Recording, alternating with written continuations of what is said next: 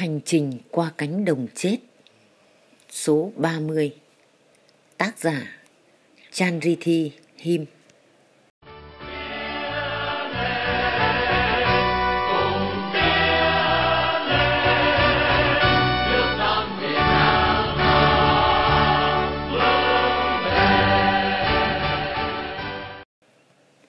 Sự hiện diện của những phụ nữ khác ở đây làm tôi cảm thấy thoải mái hơn. Ít quan tâm đến điều chị ra, anh Than, anh Van Tha có thể nói với tôi nếu họ trông thấy tôi đứng lẫn trong đám đàn ông. Chúng tôi cùng bẻ cong luật lệ của nền văn hóa cũ. Một người phụ nữ ở giữa đám đàn ông là không thích hợp.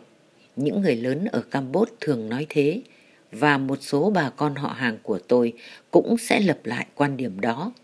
Nhưng tôi sẽ biện hộ cho mình và nói tôi ở đây là để tự học. Nếu người ta quan tâm đến sự không thích hợp của hoàn cảnh này thì người ta hãy cho tôi tiền để cho tôi được ngồi trong lớp học là đúng mực nhất. Sau nhiều tuần liên lạc bằng thư từ với chú Sang ở Portland, Oregon, gửi cho chú thông tin về ngày sinh, nơi sinh của chúng tôi. Chúng tôi lại được báo tin là phải rời về một trại khác tại Sa Keo 2.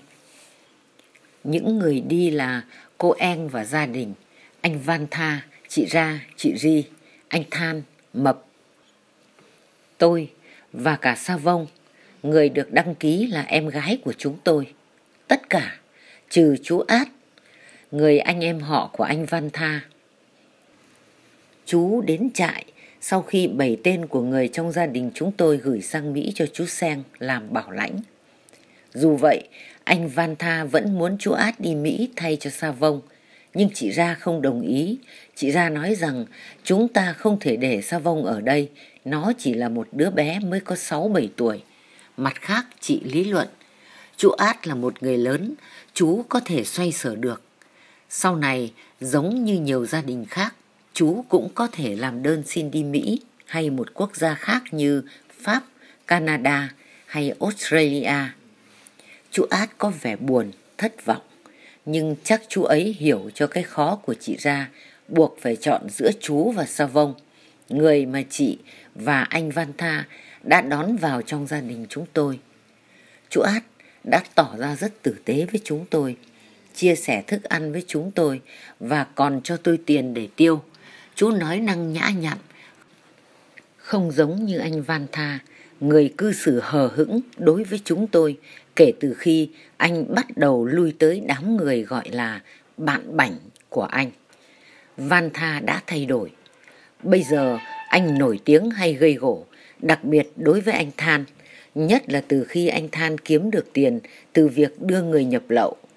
Van Tha thường tìm cách hạ giá anh Than hoặc gay gắt với anh không có lý do. Anh Than không thèm để ý, nhưng sau đó anh bảo Van Tha hãy từ bỏ cách cư xử ấy đi và hành xử như một người lớn, như một người vừa là anh rể, vừa lớn tuổi hơn phải làm.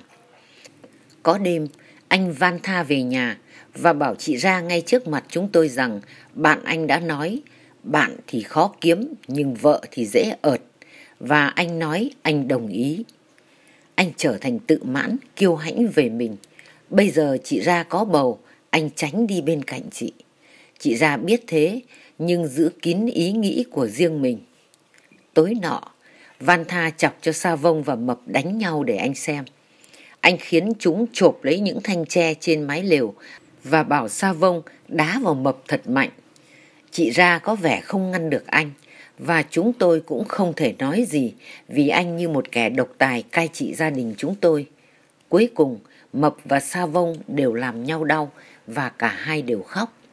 Thường thì Mập là kẻ bị đau nhiều nhất do nó không thể quay người nhanh được vì bụng nhô ra, dấu tích còn lại của tình trạng thiếu dinh dưỡng từ thời Khmer Đỏ để lại.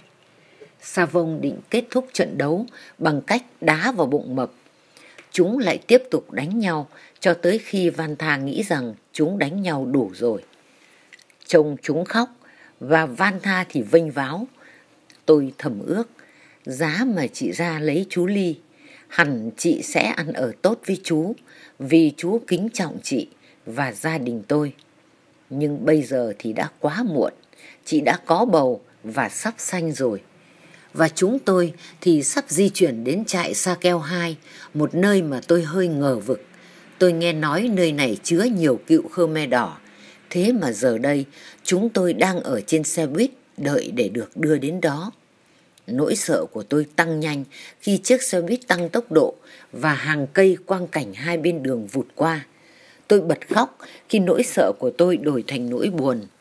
Cứ mỗi khắc qua đi, tôi lại bị mang xa hơn khỏi Campuchia. Tôi nhớ ba, Mắc và chị Chê. Tôi quay lui tìm chị Ra và Ri ngồi phía sau. Họ cũng khóc. Nhiều người khác cũng khóc. Cặp mắt đỏ biểu lộ nỗi sợ hãi câm nín. Bỗng một bài hát tiếng Anh cất lên, làm dịu đi nỗi buồn của chúng tôi. Một người Thái ngồi bên tài xế, với tay đến máy phát thanh sách tay và bấm nút. Bài hát tiếp tục và chiếc xe buýt tràn ngập âm nhạc kích động. Ô la la, em yêu anh nhiều hơn em có thể nói. Em yêu anh hai lần, nhiều hơn ngày mai. Mỉm cười qua làn nước mắt, tôi vui vẻ bảo cho chị ra và chị Ri biết tôi hiểu được lời của bài hát này. Họ cười, có vẻ hãnh diện. Tôi quay trở lại, chùi nước mắt và thưởng thức bài hát. Chú thích Cuối năm 1979, trước sự phản đối gay gắt của quốc tế, chính phủ Thái đã cho phép cao ủy về người tị nạn Liên Hiệp Quốc mở những trung tâm tị nạn trong lãnh thổ Thái Lan. Khao đang được mở ra vào tháng 11 và trong 2 tháng đã là một thành phố có 120.000 người.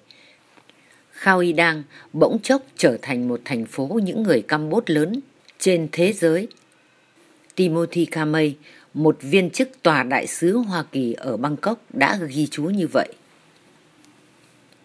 Chương 19 Trại Sa Keo 2 Tháng 7 năm 1980, bây giờ chúng tôi đang ở trong một trại tị nạn mới, trại Sa Keo 2, nhỏ hơn trại Khao Y Đăng nhưng sạch sẽ và đẹp hơn. Lều không có cửa, được cất thành một nhóm bốn lều, quay mặt vào nhau với một không gian rộng phía trước, được gọi là lều bốn. Dọc theo con đường đất là hàng dãy các lều bốn như vậy, làm bằng gỗ ván dày màu xám, sàn cũng bằng gỗ. Cũng nằm trên con đường đi xuyên qua trại này là một tòa nhà gỗ hai tầng rất rộng, có tên là Trung tâm Y tế Công cộng. Và ở phía bên kia là các lều bốn, nơi người ta có thể gửi thư, đơn từ đến các lãnh sự quán Hoa Kỳ, Pháp, Canada để yêu cầu xin nhập cư. Là một gia đình 7 người, chúng tôi chia sẻ khu lều 4 với một gia đình khác. Cũng như ở Khao Y chúng tôi nhận khẩu phần nước và thức ăn hàng ngày. Khẩu phần thức ăn ở đây khá hơn ở trại trước nhiều, dù vậy vẫn không đủ cho tất cả chúng tôi. Người tị nạn ở đây cũng không khác gì mấy so với những người tôi thấy ở Khao Y Đăng.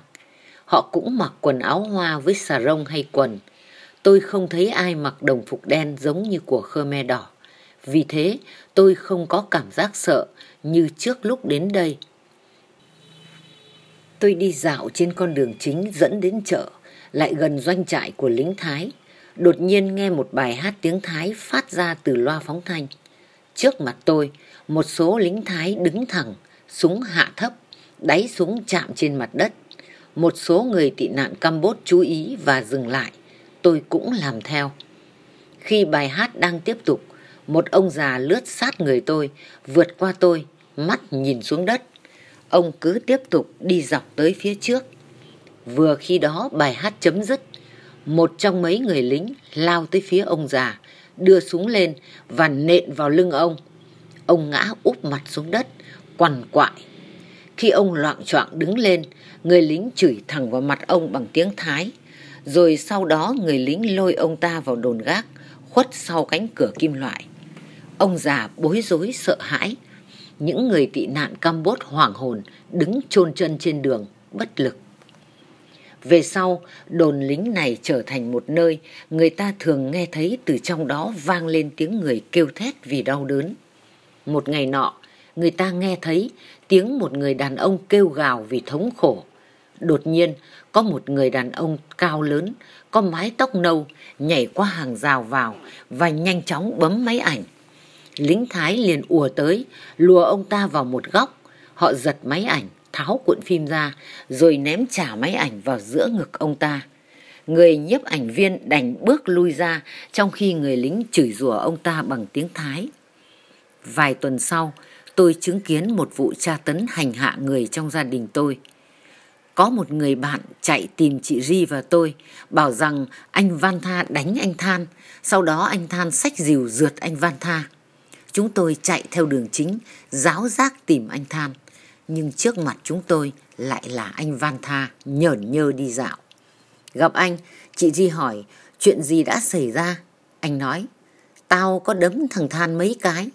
Thế là nó xách dìu rượt tao. Tao nói với bạn tao bảo lính bắt nó. Bây giờ bọn lính đang nện nó. Đi tới mà giúp nó đi. Đến trại lính, chúng tôi nhòm qua cửa sắt và tự hỏi họ giam anh Than ở đâu.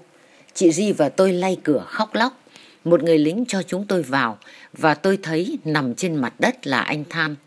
Mặt anh sưng vù, đầy máu và đất. Người anh lăn tròn khi bọn lính đá liên hồi vào anh và nện anh bằng bắn súng. Chị di gào lên và tôi kêu thét mỗi khi họ đánh vào anh Than. Chúng tôi ép bàn tay vào nhau, van lại xin họ ngừng, nhưng họ vẫn tiếp tục đánh. Rồi họ đổ nước vào người anh. Khi anh cất tiếng rên thì họ lại đánh. Xin ngừng tra tấn anh trai tôi, xin ngừng lại. Tôi gào lên, chạy lại gần bọn lính. Anh ấy chỉ là một đứa bé thôi mà, xin ngừng đánh anh tôi. Tất cả mấy người lính đứng nhìn, trong đó có một người mặc thường phục. Họ vẫn tiếp tục nhìn khi chị Di và tôi van xin họ tha. Nắm tay chị Di đập xuống đất, như thể sự đau đớn mà họ giáng xuống người anh Than là quá lớn không thể chịu đựng nổi. Quay mình khỏi cảnh anh Than bị đánh đập, tôi khẩn nài người lính lớn tuổi nhất đang ngồi trên ghế để ông ngừng cuộc đánh đấm này lại. Ông ta nhìn đi chỗ khác, nét mặt lạnh lùng. Rồi cuối cùng họ cũng thôi đánh và chúng tôi mang anh về nhà.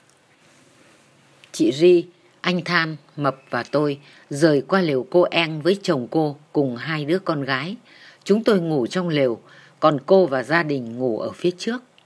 Sa Vông thì ở lại với chị Ra và Van Tha. Chị Ra không nói gì nhiều về chuyện này, có vẻ như anh Van Tha đã một lần nữa thành công trong việc thuyết phục chị rằng chuyện đánh nhau đó không phải lỗi của anh mà là lỗi của anh Than. Có lẽ chị quá theo chồng hay chị đã chịu chấp nhận vai trò của một người vợ phục tùng chồng. Dù gì đi nữa, việc chị mất khả năng giải quyết một tình huống như vậy cùng với sự ngỗ ngược của Van Tha và thái độ thô lỗ của anh đối với chúng tôi đã khiến gia đình chúng tôi tách ra xa nhau. Chúng tôi hiếm khi gặp lại chị Ra và Sa Vông nữa. Có một vài lớp Anh Văn Tư được mở, tôi theo học tất cả các lớp đó, nhưng rời lớp ngay sau khi giáo viên nhắc học sinh mang tiền theo để đóng học phí. Sau đó, khó khăn của tôi được giải quyết. Có một trường công tên là Srak Sang được mở ra ngay trong trại. Trường nằm trong khoảng đất rộng, trống, nơi vùng phụ cận của trại Sa Keo 2, gần rừng dựng trên cột với cầu thang và chỗ trống rộng. Trường này có 5 lớp, học từ lớp 6 đến lớp 9. Tiếng Anh được dạy cùng với môn toán, ngữ văn Campuchia và thể dục. Đã 6 năm rồi kể từ khi tôi theo học một trường chính thức. Bây giờ, ở tuổi 15, tôi đăng ký vào lớp 7, cao hơn 2 lớp so với lúc tôi còn học ở Nông Penh. Hôm nay trong lớp, tôi nhẩm đếm số học viên, có lẽ chừng 50 người cả thầy. Chúng tôi ngồi trên sàn vẫn còn thơm mùi gỗ mới, con trai ngồi một phía, con gái một phía. Tôi ngồi với bọn con gái, gấp chân ngồi gần cửa vào lớp với tập, bút, bút chì ở trước mặt. Cũng như tôi, anh Than bây giờ đã 17, đã phục hồi sau khi bị bọn lính đánh đập, cũng ghi tên vào lớp 7, nhưng học khác lớp với tôi, giáo viên cũng khác. Còn chị Di thì theo lớp 8, lớp 9, nằm ở dưới nhà. Sau đó chị định theo học lớp khóa giảng dạy. Chị nói vậy, mục tiêu của chị là trở thành giáo viên dạy trẻ em tiếng Campuchia. Chị ra sinh một bé gái ngày 30 tháng 9 năm 1980, sớm hơn một tuần. Một buổi chiều, chị và Sa Vông mang đứa bé tên là Sila đến lều chúng tôi. Khi chị Ri, anh Than và tôi đi học về, họ đang ngồi trước lều nơi chúng tôi nấu ăn. Cùng ngồi ở đó là Mập cô En và hai cô con gái của cô. Sila nhỏ, da sậm, với mái tóc dày, mắt nó nhắm nghiền, miệng mút chíp chíp, tay nắm lại thành nắm đấm. Savon Rusila, nó ngủ yên lành. Chúng tôi nhìn đứa bé, nói chuyện, hỏi han về nó, chứ không nói chuyện gì khác nhiều. Ngày đó người ta háo hức đi học, giống như bị đói vậy. Mỗi đêm tôi đều mong mau sáng để được trở lại trường. Sau khi ở lớp về, tôi chăm chỉ học toán và Anh ngữ. Về đến lều là tôi lo chuyện trường, xem lại chỗ ghi chép và những gì sẽ được dạy vào ngày hôm sau. Một ngày kia, thầy giáo của tôi mà tôi gọi là Lốc Gru. Lốc có nghĩa là ngài, Gru nghĩa là thầy. Trả lại cho tôi bài tập toán. Biết rằng mình làm bài này rất đúng, tôi hăm hở nhận lại bài tập. Nhận bài tôi thấy có dấu đỏ là số điểm của 19 trên 20. Tôi kiểm tra lại, thấy mình trả lời đúng nhưng điểm ghi sai. Tôi trình bày với lớp crew và thầy đã sửa lại điểm cho tôi. Tôi rất mừng, tôi vừa mỉm cười vừa quay lại chỗ ngồi. Tôi đưa bài tôi cho một bạn ngồi sau lưng tôi xem. Con bé nói tôi thật giỏi khi làm mọi câu đều đúng cả. Nó có làm sai vài điểm. Nó hỏi tôi mượn bài tập. Tôi nghe có tiếng cười khúc khích sau lưng. Siza đưa trả lại bài tôi làm rồi đi lên chỗ Lốc Gru với bài làm của nó trong tay. Nó quay trở về, có vẻ tự mãn, bảo tôi.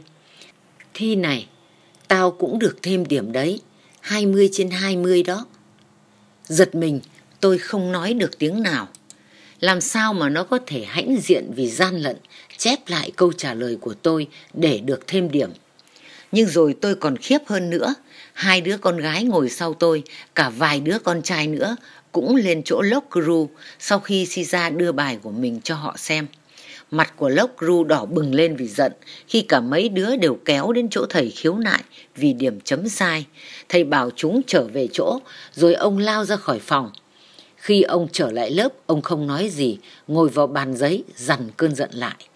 Tiếng bước chân rầm rầm nơi hành lang, rồi ông hiệu trưởng, chừng khoảng ngoài 40 xuất hiện. Tôi muốn đứng dậy và nói cho ông rõ chuyện này ra. Tôi muốn chỉ si ra và những người đã cóp các câu trả lời trong bài của tôi. Vừa bước vào lớp học, ông hiệu trưởng hỏi ngay. Ai khởi xướng cái trò gian lận này? Ai làm đầu tiên? Ông chống nạnh vào hông. Tôi đứng dậy giải thích. Em. Em.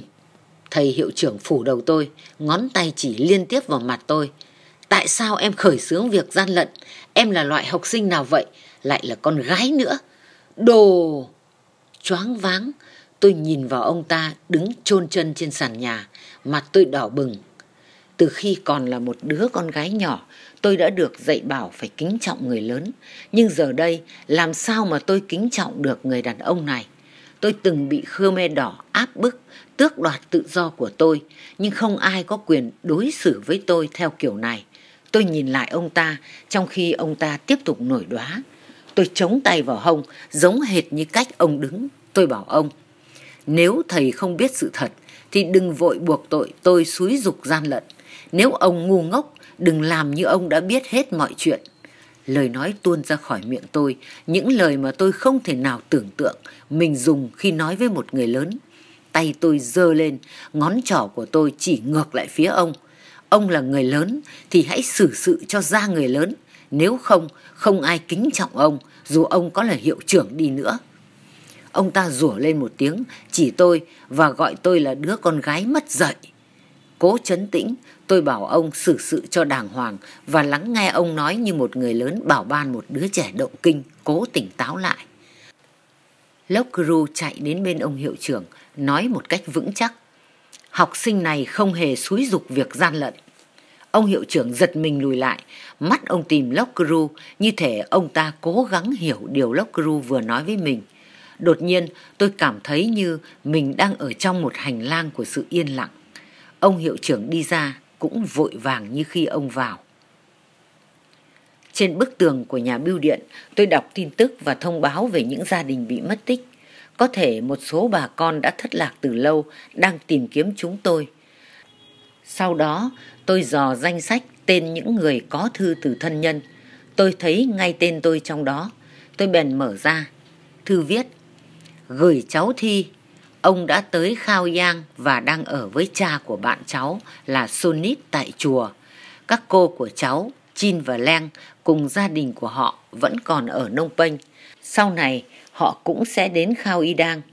Còn về phía gia đình bên mẹ của cháu thì các dì và cậu cháu cùng gia đình của họ cũng hiện đang sống tại Nông Penh.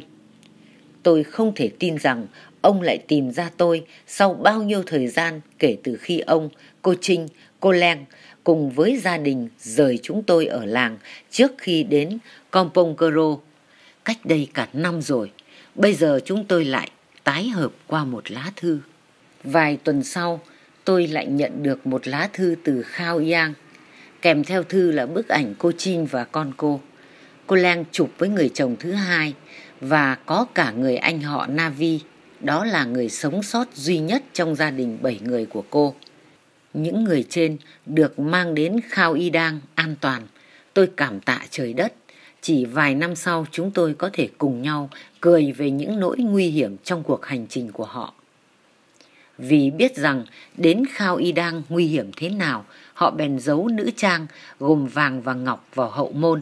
Nhưng rồi khi kiệt sức vì cuộc hành trình và mệt nhọc không ai còn nhớ gì về kho báu của mình nữa. Chồng cô Len trên đường đến New Cam phải đi đại tiện sau một bụi cây và đó chính là nơi ông để lại mấy viên ngọc giấu kín. Chuyện tương tự như vậy cũng xảy ra với người con gái của cô Trinh. Những câu chuyện khác thì hoàn toàn không vui. Những vụ giết người man dợ ở Iatpiat cuối cùng đã đi giáp vòng. Những thân nhân còn sống sót của những người bị Khmer Đỏ hành hình liền trở lại phục thù sau khi được giải phóng. Trên cánh đồng ấy, họ bắt giữ những người trước đây có dính dáng vào việc hành quyết gia đình họ. Tại đây, bằng dao, họ hành quyết những người kia, chặt ra từng khúc. Như vậy, những năm tháng hung bạo đã được đáp lại theo cùng một cánh tay. Tuy nhiên, tôi chẳng thỏa mãn chút nào khi biết những điều này. Tôi rất buồn khi thấy rằng những người còn lại đã sống sót trong chế độ Khmer Đỏ nay cũng giảm xuống ngang cấp độ của Khmer Đỏ. Báo thù, rửa hận như vậy chẳng thay đổi được gì, tôi nghĩ, và tôi mừng rằng mình đã không phải chứng kiến việc trả thù đó nghĩ mình gặp điều không may ở trường Sa Sang. Kể từ khi xảy ra vụ với ông hiệu trưởng, tôi quyết định thôi học ở đây. Bây giờ tôi đã có kinh nghiệm mới về việc hoạch định tương lai. Chị Di và tôi đăng ký theo học một chương trình huấn luyện giáo viên thể dục. Có một điểm tiện lợi là tôi vừa có thể học tiếng Anh và như chị Di gợi ý, tôi sẽ sang Mỹ và sẽ có cơ hội để học nhiều thứ.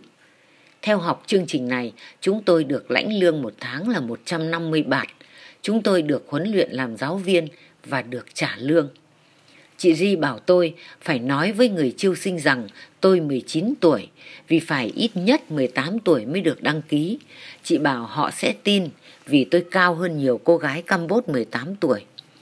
Tại Cục Giáo dục Thể chất và Giải trí, một số đàn bà con gái tuổi chừng 20 đã đến ghi danh để làm huấn luyện viên thể dục. Ngồi trên cái ghế dài, chúng tôi đọc về luật lệ của môn bóng truyền, đọc miêu tả trong bốn trang giấy phát cho học viên. Sau khi đọc nghiên cứu trong hai buổi sáng, chúng tôi bắt đầu thực sự huấn luyện bóng truyền và người phụ trách cục báo là chúng tôi sẽ được nhận đồng phục. Điều này khiến chúng tôi cười tươi như hoa. Chúng tôi nôn nóng đợi được phát áo. Nhưng môn này lúc đầu khó khủng khiếp. Càng tập, chúng tôi càng khá hơn. Tôi rất yêu môn bóng truyền và trở thành một trong những tay chơi giỏi nhất. Các trận đấu tập của bóng truyền nữ này không những chỉ thu hút người tị nạn Campuchia mà còn cả người ngoại quốc và một số lính Thái mang súng đến xem nữa. Có lần, sau một trận đấu, Ray một trong những cầu thủ không chơi ván cuối này đã bấm tôi, nói rằng cô chú ý thấy bọn lính Thái chăm chú nhìn tôi, nói thầm với nhau, ra vẻ thích tôi lắm. Tôi quay lại nhìn họ, Họ vẫn đứng đó gần sân bóng chuyền và nhìn về phía chúng tôi. Một cơn sợ hãi phủ lên người tôi. Tôi bồn chồn lo âu, nhớ lại những câu chuyện phụ nữ Campuchia tị nạn bị cưỡng hiếp ở Thái Lan. Hai trong ba người lính tiến lại sân bóng chuyển. Một trong mấy cô gái nói họ có vẻ mết tôi lắm. Nhưng tôi không sợ bởi có đám đông chung quanh và tôi thường ra về một lần với mọi người khi tập xong. Một chiều thứ ba, khi tôi một mình đi qua bưu điện về lều, tôi nghe thấy tiếng bước chân vội theo đằng sau, một tiếng nói đột ngột cất lên. Xin chào. Tôi giật mình quay lại. Cái nhìn của người lính gặp tôi, anh ta đúng là một trong số những người lính chăm chú nhìn tôi ở các buổi tập. Anh ta mang súng trên vai, nhận ra người này tôi ba chân bốn cẳng ủ té chạy về lều. Khi về đến lều bên trong không có ai, ngoại trừ om soi. Tôi bình tĩnh kể lại cho bà nghe chuyện xảy ra, om soi nhắc tôi phải cẩn thận. Uyên Uyên Việt Nam trân trọng cảm ơn quý vị và các bạn đã quan tâm theo dõi. Xin kính chào và hẹn gặp lại.